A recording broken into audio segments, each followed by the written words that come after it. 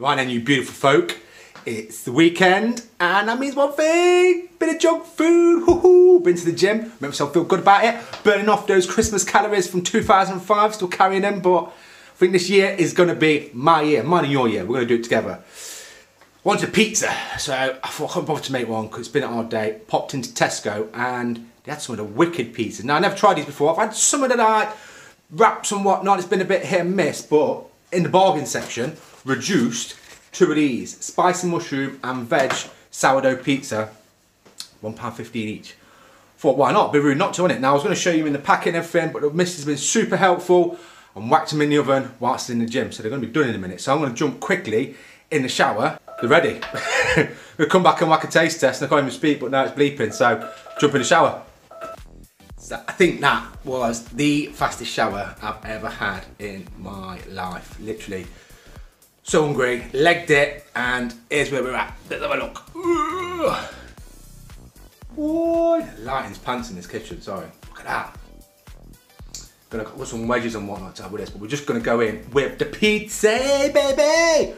Now, it's not that big, you know what I mean, for like four pound odd, but oh, it's probably made with all the good stuff, that's why it costs more, I don't know about that. It's got a bit of cheese on it, so I'm excited to see, you know what I mean, vegan cheese. Gonna win or loser in it really, but let's get involved. Topping just fell off, on the floor. Literally, off of it, look. Flip my life. There we go. Nice. Anyway, try it.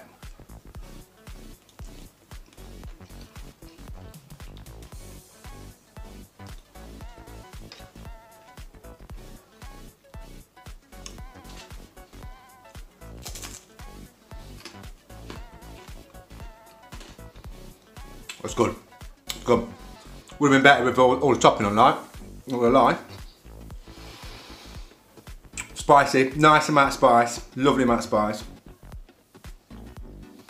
Topping's good. Cheese, cheese tastes great, but literally sticks to every part of your mouth.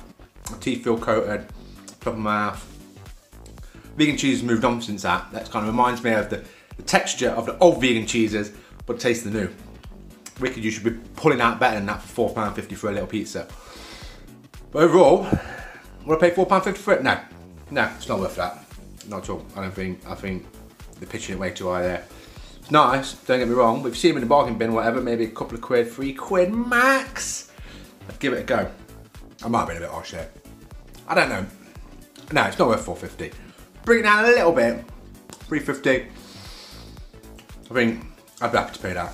But give it a go, see what you think. Tell it's nice quality, cheese needs a little bit of work, and I think the price should be different. Anyway, different. As always, big love.